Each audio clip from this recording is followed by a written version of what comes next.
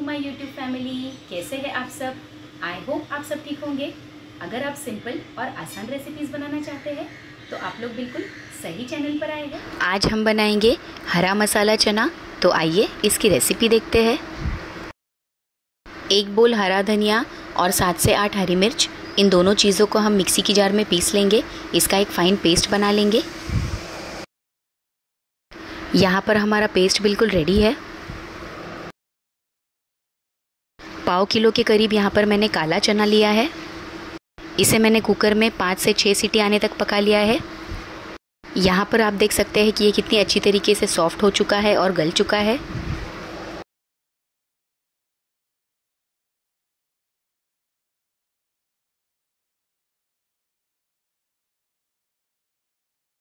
एक नॉनस्टिक बर्तन में हम तीन से चार टेबल स्पून भर के ऑयल ऐड करेंगे।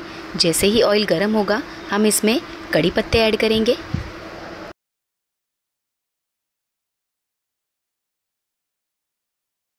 जैसे ही कड़ी पत्ते तड़कने लगेंगे, हम इसमें बॉईल किया हुआ चना ऐड करेंगे।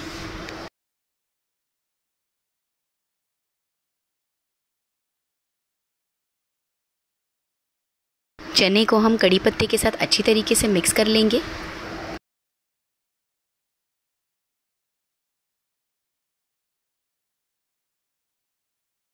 हरी मिर्च और हरे धनिया का जो हमने पेस्ट रेडी किया था, वो इसमें ऐड करेंगे।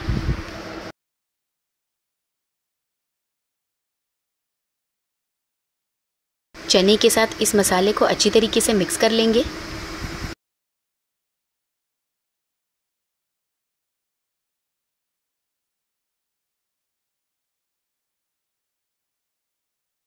अब इसमें जाएँगे दो मीडियम साइज़ के उबले हुए आलू। आलू को मैंने यहाँ पर उबाल कर छोटे छोटे पीसेस में कट कर लिया है। अब हम चने को आलू के साथ मिक्स कर लेंगे।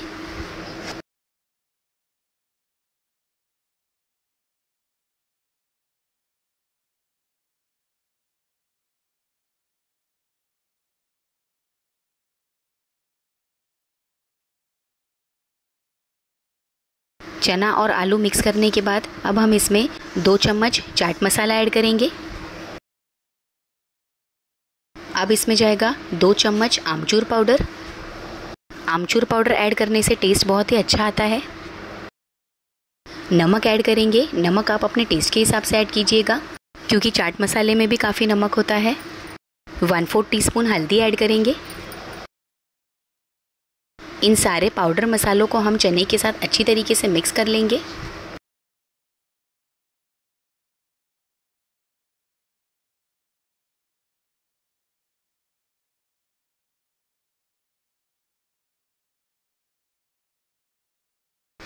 अब हम इसमें दो मीडियम साइज़ की प्याज को बारीक चॉप करके ऐड करेंगे। प्याज ऐड करने से चना मसाला में एक बढ़िया सा क्रंच आ जाएगा।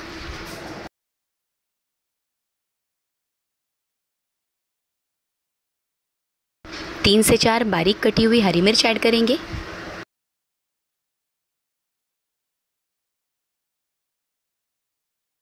अब फाइनली इसमें जाएगा बारीक कटा हुआ हरा धनिया।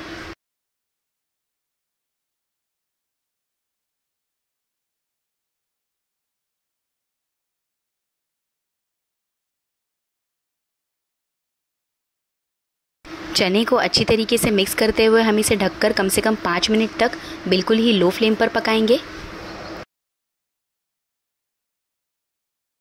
पाँच मिनट हो चुके हैं, अब हम फ्लेम ऑफ़ कर देंगे।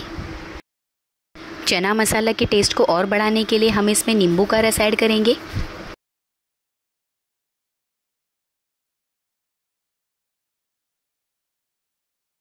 सो फ्रेंड्स ये रहा हमारा बहुत ही ज़्यादा टेस्टी और डिलीशियस हरा चना मसाला। कैसी लगी आप लोगों को ये सिंपल सी रेसिपी मुझे कमेंट करके ज़रूर बताइएगा। अगर आपको कुछ चटपटा सा खाने का मन हो तो आप इसे शाम के वक्त बनाकर खा सकते हैं। अगर ये रेसिपी आप लोगों को पसंद आई हो तो इसे लाइक कीजिएगा शेयर कीजिएगा, मेरे चैनल को सब्सक्राइब कीजिएगा, दुआओं में याद रखिएगा। तब तक के लिए अल्लाह हाफिज़।